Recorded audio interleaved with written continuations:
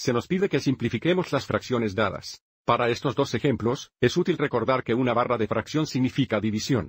Entonces, en general, si tenemos a b, esto es igual a dividido por b. Entonces, como nuestra primera fracción es 10 10, 10 10 es igual a 10 dividido por 10. Que es igual a 1 entonces la fracción dada se simplifica a 1.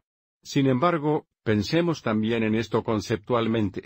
10 10 significa que tenemos 10 1 10. Entonces, para modelar esto, si definimos este rectángulo como un todo porque el denominador es 10, cortamos o dividimos el rectángulo en 10 partes o piezas iguales como vemos aquí.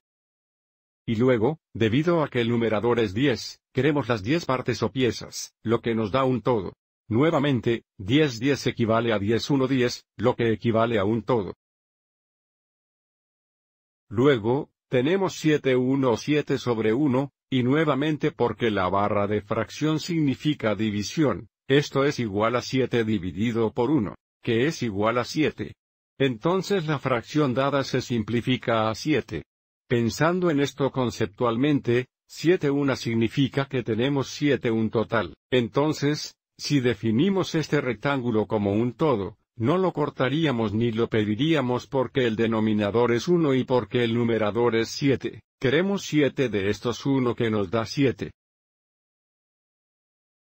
Espero que hayas encontrado esto útil.